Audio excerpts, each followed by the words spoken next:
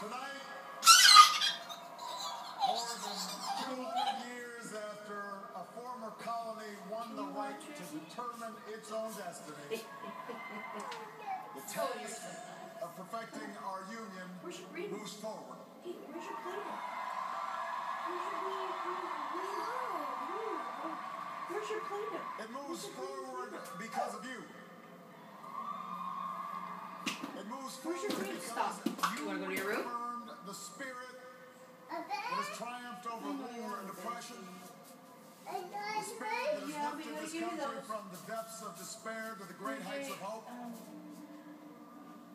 The belief that while each of us will pursue our own individual dreams, we are an American family and we rise or fall together as one nation and as one